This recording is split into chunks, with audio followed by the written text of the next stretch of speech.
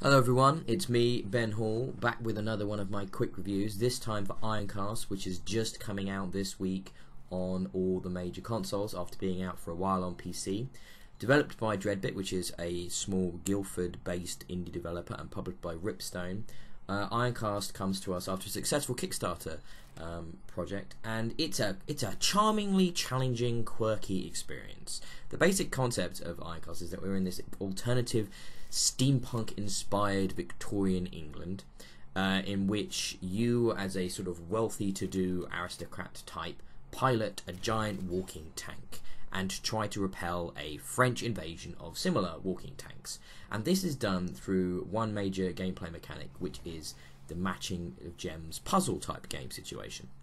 Now, that in itself isn't that sort of interesting or unique, but what Ironcast does is it makes it so every type of gem has a different uh, value and a different use in the game. So, be it coolant systems, ammunition, repair, scrap, which is your currency in the game, and things like that. And basically, it starts off very simple, and you think, oh, I, I get this game, but then the difficulty quickly ramps up, and you realize that it's actually a roguelike gem matching puzzle game, which, as far as I know, is totally unique and unheard of anywhere else prior to this game coming out.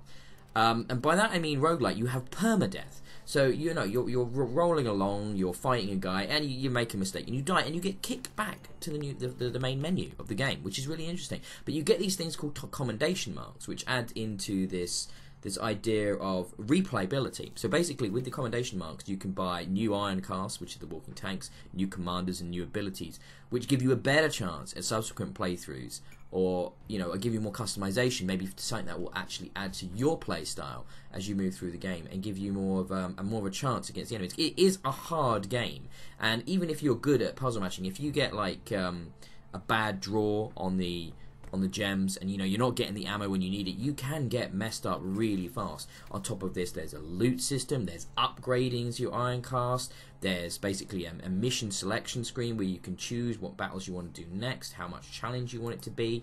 You also have a time limit. Basically you have eight rounds I believe it is before you have to fight the final boss. And if you're not ready you're going to lose that's if you even make it to the final boss. So there is a great deal of interesting depth to Ironcast that you, you won't see maybe in other gem matching games of this type of genre. It's, I think, a marvelously odd experience. I really enjoyed myself with Ironcast. It is totally unique and charming, and I am actually quite negative about the whole steampunk era stuff, usually because it's so hokey. But in this, you can tell that Dreadbit have really sort of are reveling in the ludicrousness of the, of the nature of it. They've got all these silly technology. They've got the characters, which are wonderfully well written in these little cutscenes.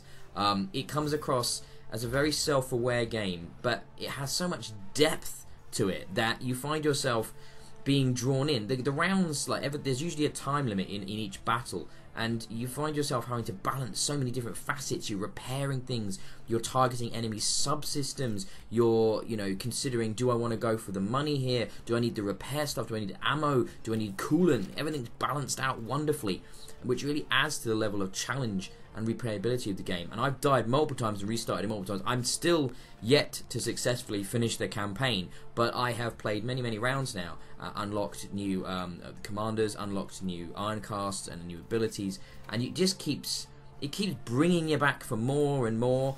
Uh, and it's such a, a, wonderfully different type, type of game. There's just nothing else like it on any of the consoles right now.